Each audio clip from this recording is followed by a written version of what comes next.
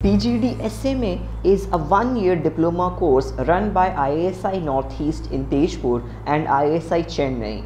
ISI Chennai has 15 seats and ISI Tezpur has 30 seats. 50% seats of the Northeast Center is reserved for the Northeast domicile students. This course is primarily designed to cater to jobs which has application of statistics and jobs which have data analytics flavor in them. Now a lot has been packed in one year for this course. If you look at the course structure, it looks decent and as it is offered by ISI, it will also have a good delivery of content as well. TCS has some kind of an arrangement with the ISI Northeast Center such that some of the students who cross more than 60% they directly go to the HR round of their interview process. Probably this is for the domicile holder students only. And for the rest of the students the placement does happen of course, you cannot compare it to a master's program of ISI because PGD SMA is a postgraduate diploma course. It's a one-year course. Obviously, comparing it with a two-year master's course or an MTech course